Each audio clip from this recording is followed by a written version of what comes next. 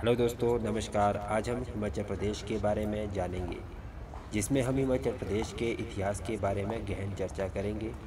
दोस्तों, अगर आपने अभी तक हमारा YouTube channel general study preparation subscribe नहीं किया तो जल्दी से सब्सक्राइब कर दीजिए, ताकि आपको आने वाली सभी वीडियो की नोटिफिकेशन मिल सके।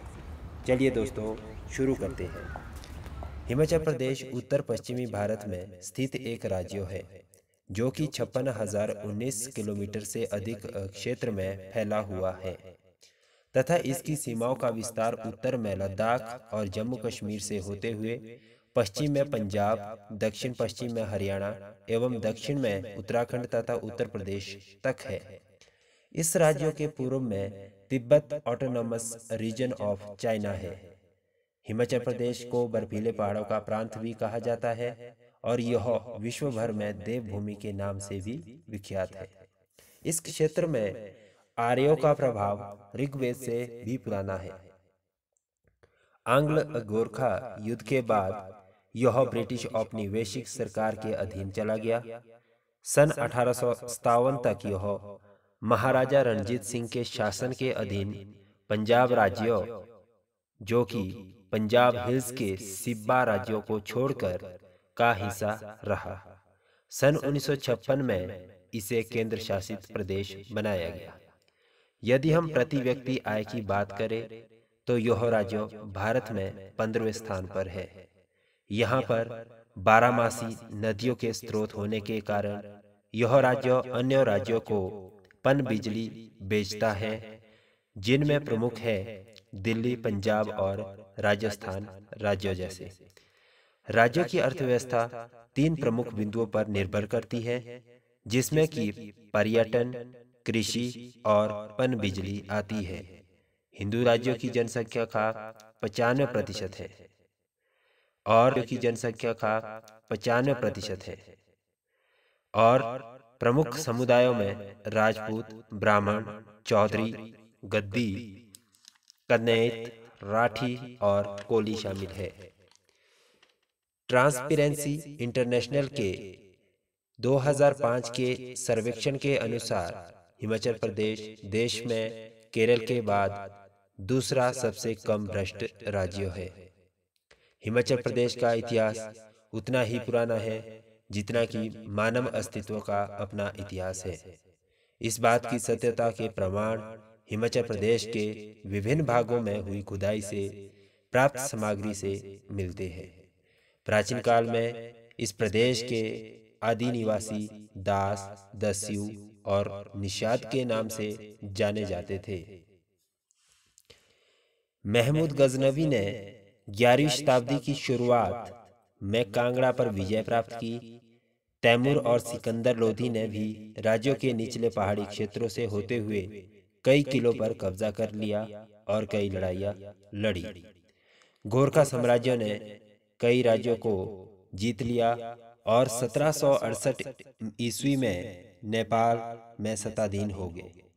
इसके बाद उन्होंने अपनी सैन्य शक्ति को मज़बूत किया और अपने क्षेत्र का विस्तार भी करते रहे। धीरे धीरे नेपाल के साम्राज्यों ने सिरमौर और शिमला पर कब्जा कर लिया। अमर थापा के नेतृत्व में नेपाली सेना ने कांगड़ा की घेराबंदी की। उन्नीसवीं शताब्दी में रणजीत सिंह ने इस क्षेत्र के अनेक भागों को अपने राज्यों में मिला लिया।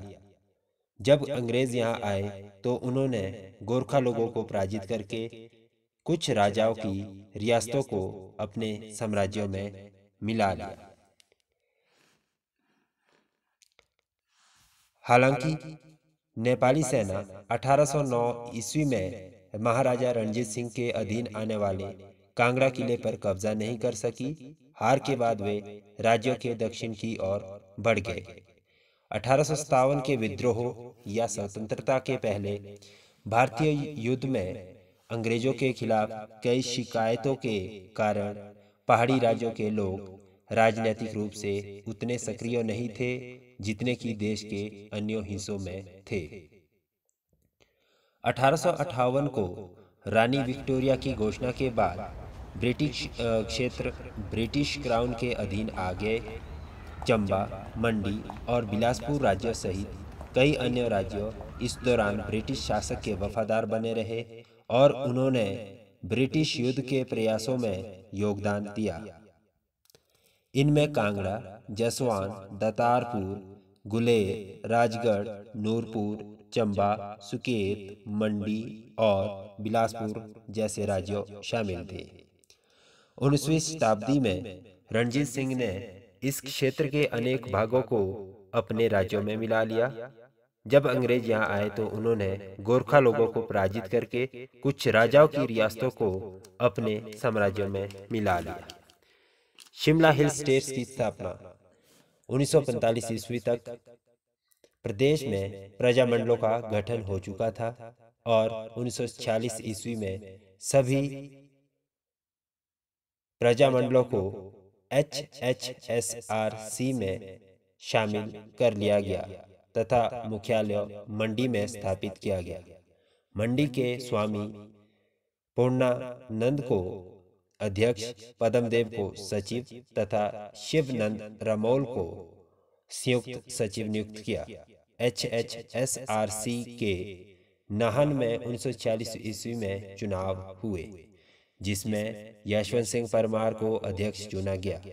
जनवरी उन्नीस ईस्वी में राजा दुर्गाचंद बगाट की अध्यक्षता में शिमला हिल्स स्टेट्स यूनियन की स्थापना की गई। जनवरी 1948 ईस्वी में इसका सम्मेलन सोलन में हुआ। हिमाचल के निर्माण की घोषणा इस सम्मेलन में की गई। 2 मार्च 1948 को शिमला हिल स्टेट के राजाओं का सम्मेलन दिल्ली में हुआ। राजाओं की अगुवाई मंडी के राजा जोगेंद्र सेन कर रहे थे। इन राजाओं ने हिमाचल प्रदेश में शामिल होने के लिए 8 मार्च 1948 को एक समझौते पर हस्ताक्षर किए। 15 अप्रैल 1948 ईस्वी को हिमाचल प्रदेश राज्यों का निर्माण किया गया और उस समय प्रदेश भर को चार जिलों में बांटा गया। और पंजाब हिल स्टेट्स को पटियाला और पूर्व पंजाब राज्यों का नाम दिया गया।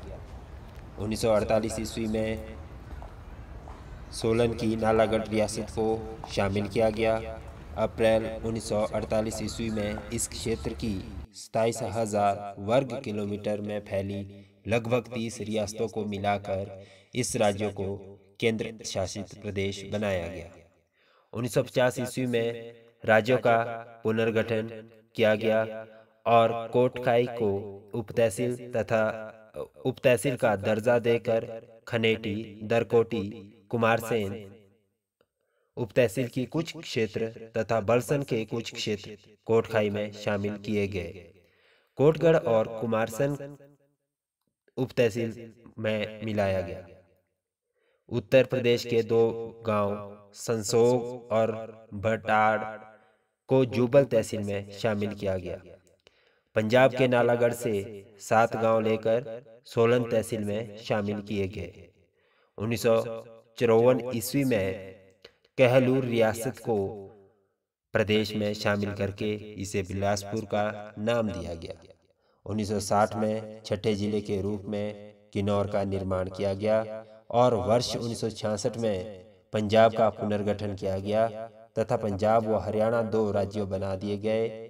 संजौली बराड़ी कसुमटी तथा नालागढ़ आदि, जो पहले पंजाब में थे, पुनः हिमाचल प्रदेश में शामिल कर दिए गए। सन 1966 में पंजाब के पहाड़ी क्षेत्रों को मिलाकर इसका पुनर्गठन किया गया।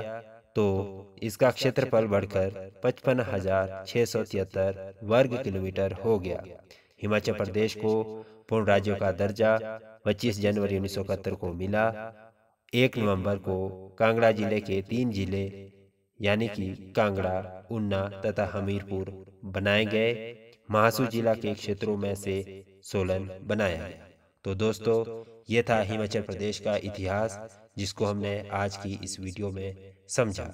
दोस्तों, हमारे साथ बने रहे अगली जो वीडियो आएगी, वो हिमाचल प्रदेश के जियोग्राफी यानी कि उसका भूगोल उसकी नदियाँ उसके कल्चर यानी कि उसकी संस्कृति के ऊपर होगी। तो दोस्तों हमारे इस वीडियो को ज़्यादा से ज़्यादा शेयर करें सब्सक्राइब करें लाइक करें और यूट्यूब चैनल को आप सब्सक्राइब करें।